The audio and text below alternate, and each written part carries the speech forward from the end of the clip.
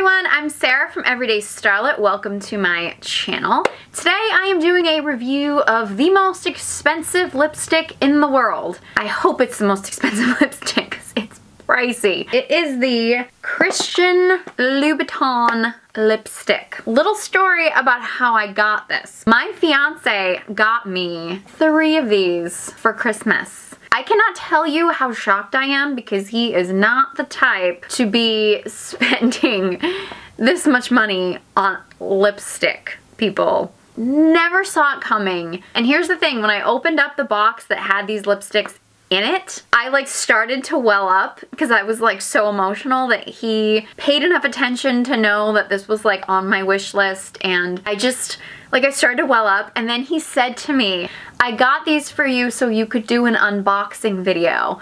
Like the tears of happiness just started like falling down. I was like, oh my god, you get me. You really get me. I was a blubbering mess.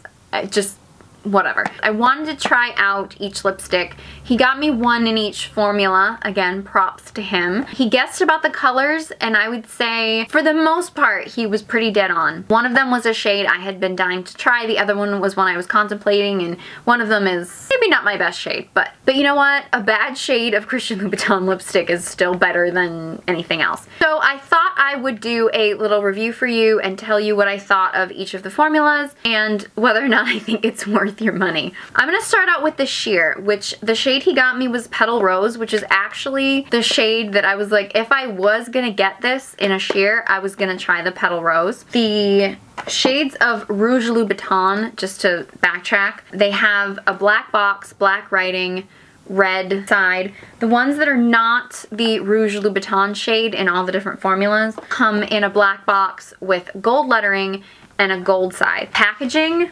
is unbelievable. You basically get this beautiful box and you open it up. I've taken this out, but each lipstick, it has a tag. It's on like this beautiful like shoestring. It almost looks like a Christmas ornament. It's in this red velvet case here. The ones that are not the Rouge Louboutin shade are all in these beautiful gold packages. I mean, they're absolutely stunning.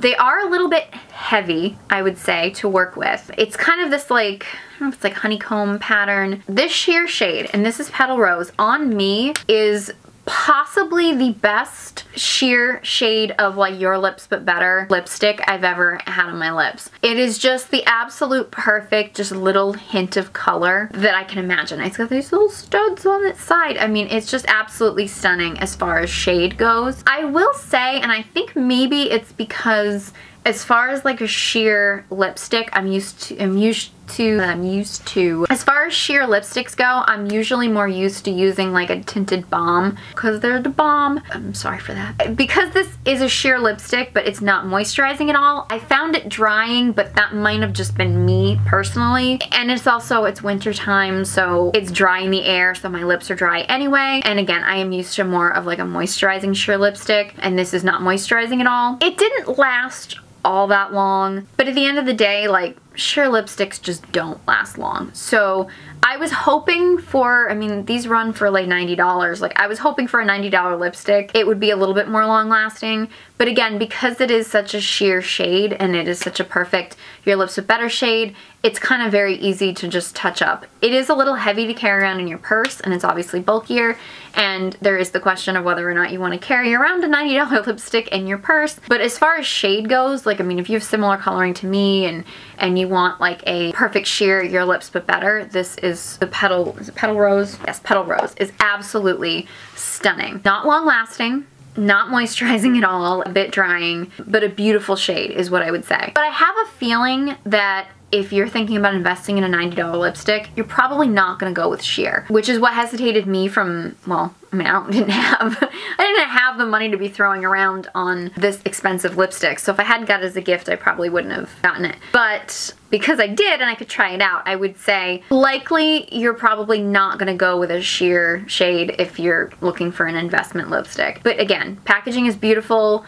The shade is beautiful, but again, it's a sheer lipstick. It wasn't, it wasn't anything like phenomenal that made it other than the packaging and everything, which I think what you're paying for with these lipsticks. The formula was okay. Next, I have the matte lipstick. The matte lipstick, again, in the Rouge Louboutin, it's a different package, but for these matte lipsticks, this is in the all gold. It's black if it's in the Rouge Louboutin, but this shade is actually in, how do I say this? Ro Rococo Coty, Rococoty, Ro um, I don't know. A similar shape, they're both gold. This one has more of the honeycomb quality to it, whereas this one, it still has the studs, but base of it is, this is weird. The base of it is more matte. You take it off here, this shade is, I think, more of like a dusty rose kind of a shade. I didn't think this is the best shade on me. It doesn't look terrible. I didn't wear this actually all day, so I can't really speak on its durability, but it was very drying. I'm not normally a fan of matte lipsticks. I know a lot of people are. I can kind of deal with them when they're like those like kiss proof or stay all day kind of liquid lipstick things, but in general, I find matte lipsticks to just feel too drying on my lips. So I didn't wear this all day because it just felt really drying on me and it's a great Kylie Jenner 90s kind of a color. It just wasn't the most flattering color on me per se. I didn't I, I feel like other reviews I've read, people have said that it's a very moisturizing matte lipstick. It doesn't feel as drying, but I found this to feel very drying. But I found the sheer to be kind of drying, so maybe I just have dry lips, but that was my take on it. Now, the one that I had my eye on, Dream Christian Louboutin lipstick, for me, is the Rouge Louboutin Satin. My absolute, let's just, let's just admire this for a moment. Oh, is absolutely beautiful. Because this is the Rouge Louboutin, it comes in the black packaging. It would look, if it was any other color but the Rouge Louboutin, it would be in the gold, except that this is, the base is gonna be shinier than the matte one. So that's just kind of how you tell them apart, because obviously it doesn't say what shade it is on here. This is actually one I have on right now. I love this shade. It's a very beautiful red. I will say I'm not really a lip brush kind of girl. I'm like a slap it on from the tube kind of a girl. These are kind of big. You do get an awful lot of lipstick, I would say, which I would hope you would for your money. The actual lipstick itself feels kind of wide, so it's a little difficult, I find, to control, especially if you don't have really full lips. I was a little disappointed with the pigment of these. I mean, the shade is beautiful. I really love the way it looks on me. Pigment I didn't think was as much of a payoff as I was expecting. It might be in the red shade more in the matte from what I've read in reviews. Because it's a satin and it's not a matte, it doesn't have as much staying power. I wore this yesterday and one, one salad and it was kind of pretty much gone. So there was a lot of wear and tear. It didn't last very long on me at all. But again, beautiful shade, Packaging is amazing. I do, I do, I do love it. I love it so much. Another thing about this is I kind of have my MAC red is to me the ultimate red lipstick like as far as like an actual like lipstick in a tube. It's satin. As far as like color, formula, everything, that is kind of like my upper echelon of lipsticks. That's kind of what I compare everything to and I feel like as far as pigment, wearability, that's better. And again, MAC is out of a lot of people's price range, but it's a lot more affordable than this. So here is the general consensus of my Christian Louboutin. If you're asking yourself,